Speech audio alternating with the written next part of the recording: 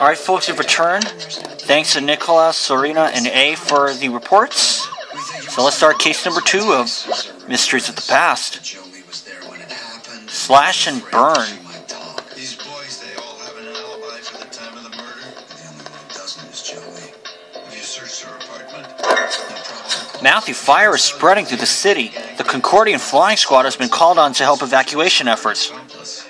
Chief Wright wants you and Mr. Isaac Bontemps to go to Monk Street.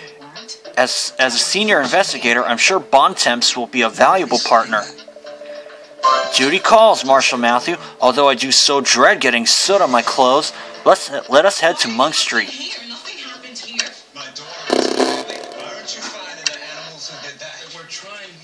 Mr. Henderson, but your daughter's not able to help What are you looking for here? Is this your daughter's?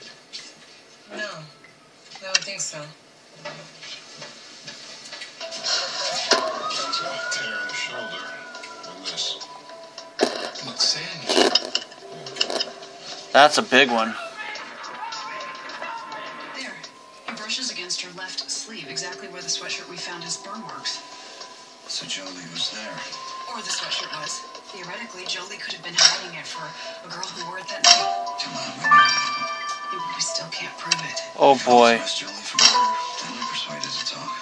Under the circumstances, Mike, that's not exactly my favorite way to go. Well, I'm open to other ideas. Moses I really hope that's not his sister was Daisy. Tutoring. He called in a tip and then retracted it. Sounded pretty sure- Although I can't recall if she was uh, the one who had the pigtails. I guess we'll find out.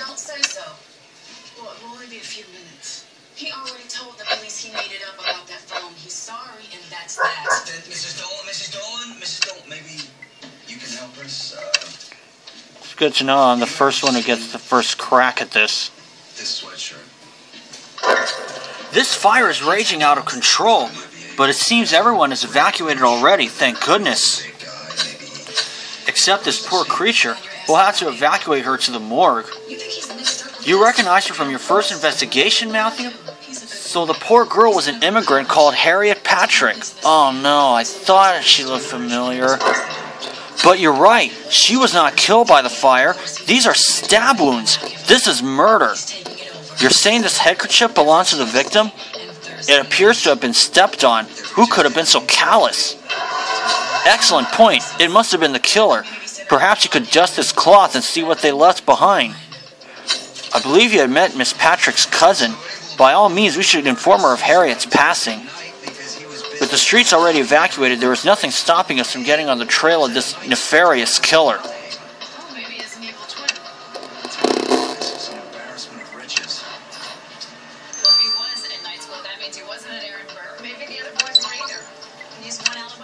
was start the autopsy now, and I'm going to get some stars. So sit tight. Okay, I got myself nine stars. Why don't we examine the neckerchief, the head headkerchief first, I should say.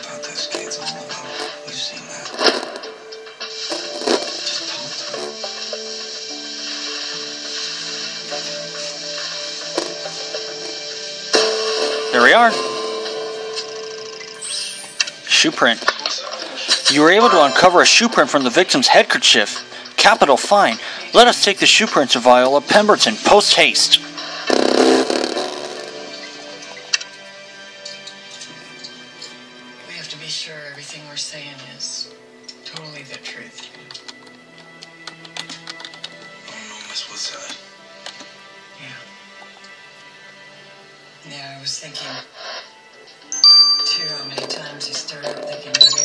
Else hours.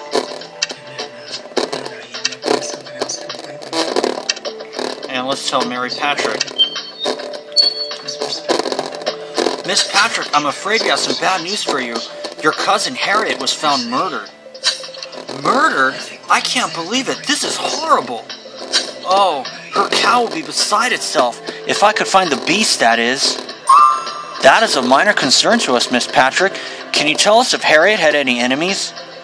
Well, she'd only just arrived, you see, but she told me she'd met with some rich fella for a job as a maid. What was this person's name? Oscar something with a T. I'm sorry, I can't remember. Very well. Now, Miss Patrick, I enjoin you to go to safety. Fires are unpredictable and no street is safe. Matthew, we ought to visit the house Mary Patrick mentioned. We could learn more. How do I know which house? You're clearly a new arrival to Concordia. Oscar, something that begins with a T, is the one and only Oscar Trefusis. He's a well known scholar and one of the richest men in Concordia. Let us request an interview.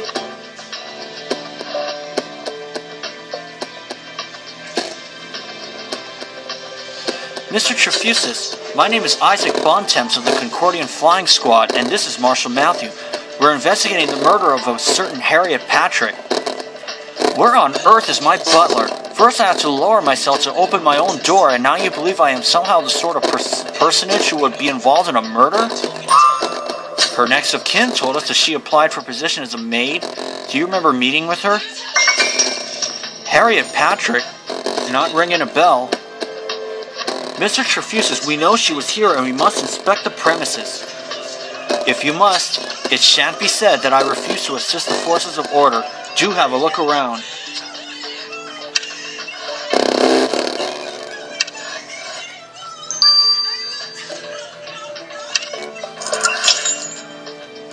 So Moses gets the reward. There's his brother. Brother gets the rest. Well, his friends ran into Caesar with Jolie. They already hated the kids from the charter schools, and some of the boys were jealous. Abel was upset over Moses. The Caesar made the mistake Okay, let's see if I can get the first star immediately. I like to think I've just about covered, done enough to uh, not take another break, but we will see.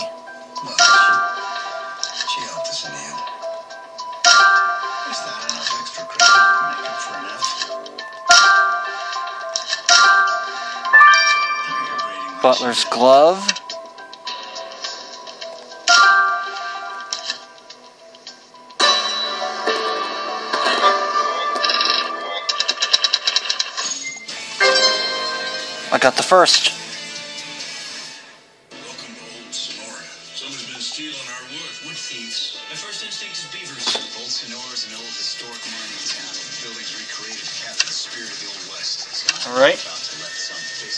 tear it down.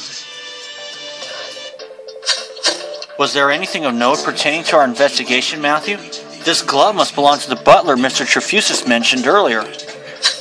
Glove simply looks dirty to me, but by all means, collect a sample of that brown substance you believe it may aid our investigation.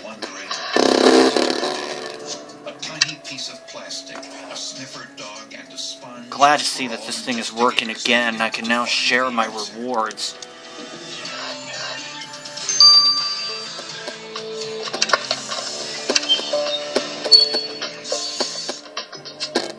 Are we going to run this under the microscope?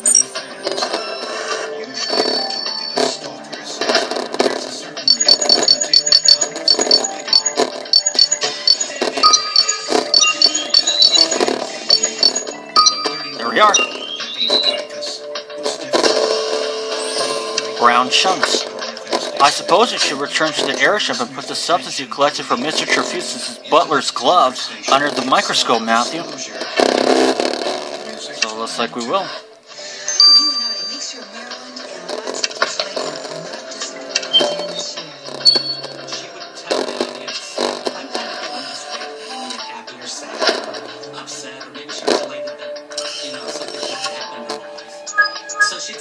Why don't you call in and tell me what's going on with your life, or how do you feel about this, or whatever. There we are.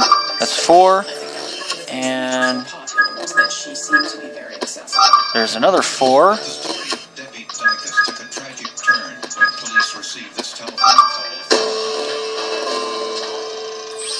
Cow dung. Ew. The sample you collected from the butler's glove turned out to be cow dung? How distasteful. How very astute of you, Matthew. If Mr. Trefusis' butler ended up with cow dung on his glove, it means you can finally prove Harriet visited the house. I should very much like to see how Mr. Trefusis reacts when we present him with solid evidence that Harriet was there. And you make a valid point, Matthew. We should also have a talk with his butler.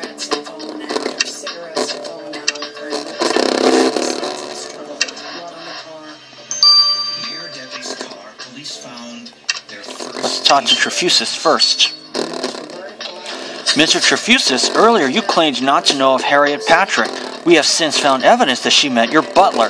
I presume she was subsequently invited to make your acquaintance. Oh, you mean that dreadful Irish girl?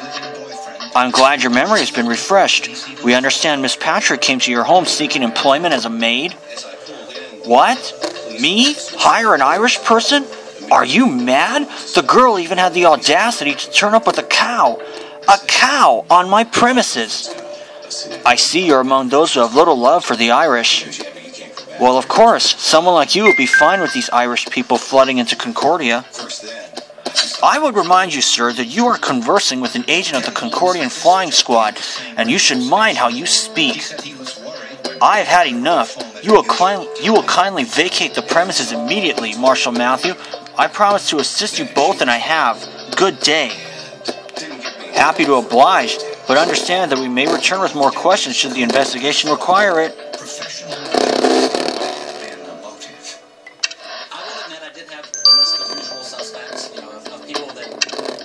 And let's talk to Colin James, see what he has to say.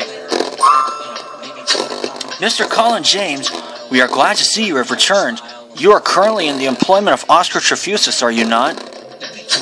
Most certainly. I am his butler. Do you remember a certain Harriet Patrick coming to the house? We found your glove. Do I? The nerve of some people coming to this house fairly well expecting a position. I only spoke to that woman long enough to send her away from this place. And why on earth would you care about her when there's a fire destroying the city? We care, Mr. James, because the young woman was murdered, and your lack of respect towards her person makes you a suspect. I'll let these two run their courses. So for now, this is Matthew. See you then. Alright, folks, you've returned. I'm gonna get this one while I wait on the autopsy.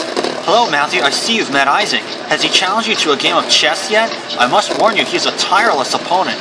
He'll happily play for hours upon hours. Not unlike your capacity to quote literature for hours on end, Viola, I believe I can now recite the entire works of Marie Corelli off by heart, thanks to you. Then I believe it is a job well done. But back to business. The shoe print you found on the victim's handkerchief was incomplete, so I cannot tell you anything about the killer's shoe size. But the shoe print did tell me that they are wearing Wellington boots. It's interesting, actually. The boots are almost identical to those worn by the Duke of Wellington, hence their name. But unlike the Duke's boots, the latest models have been vulcanized rubber have vulcanized rubber soles. And the killer was wearing the newer model of the Wellington boot. I take it. Well, Matthew, they had better watch their step, hadn't they? Moment.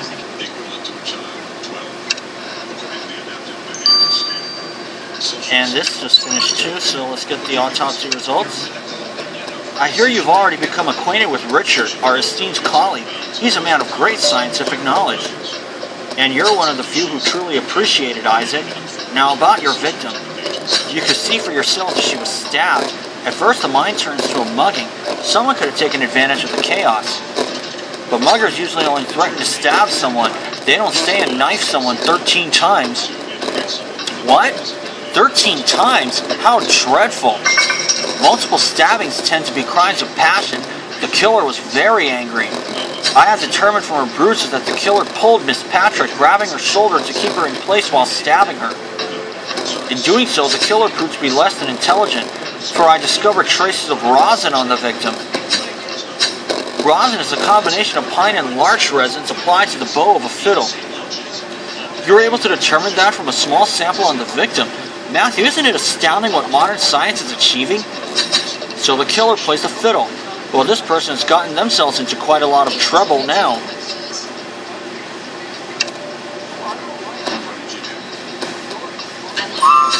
Matthew, the fire is spreading. Is everyone safe? Well, Harriet Patrick certainly isn't. She's been stabbed to death.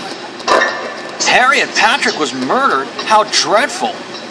To think we just reunited her with her cousin Mary. Mary Patrick.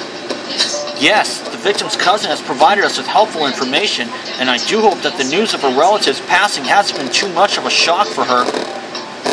And it would appear that Harriet's potential employer, Oscar Trefusis, was staunchly anti-Irish. Matthew, the victim's last name was Patrick, is that correct? Uh, Miss Patrick is being attacked at the market as we speak. Oh no. Give me one cream soda. It's true. I'm gonna be down in two minutes for this, so we'll start chapter two next time.